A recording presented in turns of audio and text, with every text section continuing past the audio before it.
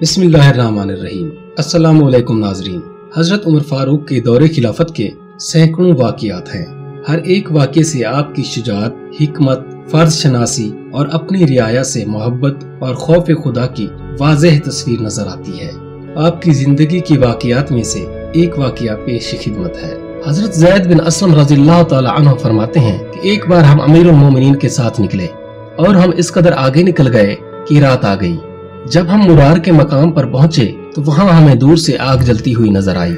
इस पर हज़रत उमर फारूक रज़ी अल्लाह तु ने मुझसे मुखातिब होकर फरमाया, असलम, देखना कुछ मुसाफिर रात गुजारने और सर्दी से बचने के लिए रुक गए हैं। चलो जरा इनकी खबर लेते हैं। चुनाचे, हम लोग आगे बढ़ गए, और जहाँ आग रोशन थी, उससे बिल्कुल करीब हुए तो हमने देखा कि एक औरत है।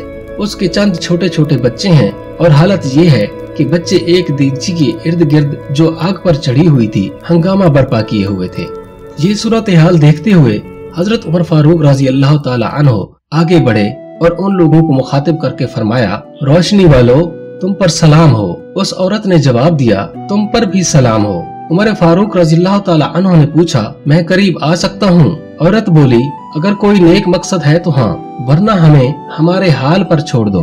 इस पर हज़रत उमर फारूक ने फरमाया, तुम्हें क्या हो गया है कि इस वक्त इस बयाबान में हो? जवाब में औरत कहने लगी, एक तो रात और फिर सर्दी। इस वक्त हम जाते भी कहाँ? उमर फारूक ने पूछा, ये बच्चे क्यों शोर कर रहे हैं? औरत कहने लगी, भूख के सबब ऐसा कर रहे हैं। उमर फारूक ने फिर पूछा, इस देगची में क्या चढ़ा रखा है? औरत दुखी हो गई और कहने लगी कुछ भी नहीं ये तो एक बहाना है कि बच्चे सो जाएँ, वरना देगची में क्या रखा है।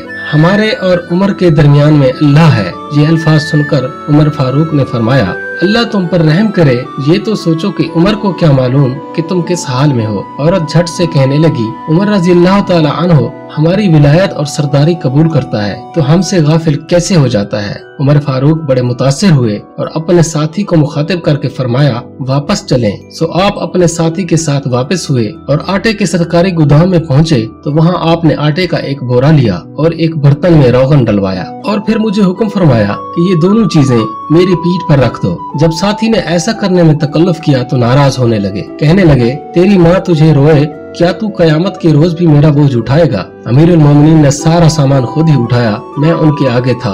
हम उस जगह पहुँच गए, ये सारा सामान उस औरत के आगे डाल दिया गया। उसके बाद आटे की कुछ मकदार लेकर हज़रत उमर फारूक ने खुद ही हरेरा तैयार करके थोड़ा सा हरीरा एक बर्तन में निकाल कर औरत को दिया कि वो बच्चों को खिलाए और बकिया खुद ठंडा करते रहे। औरत बच्चों को खिलाती रही और अमीर मोमिनीन उससे तावन करते रहे। बच्चे भूखे थे, उन्होंने सैर होकर खाना खाया। फिर अमीर मोमिनीन उठ खड़े हुए। उनको उठते हुए देखकर वो औरत उमर फारूक को मुखातिब होकर कहने लगी, अल्लाह तुम्हें जजाय खैर दे। मुसलमानों का अमीर उलमोमिन तो तुमको होना चाहिए था। उस औरत के इन अल्फाज के जवाब में आपने फरमाया तो अमीर उलमोमिन के पास जाना और उनके पास पहुँच मेरे हक में कलमा खैर कहना।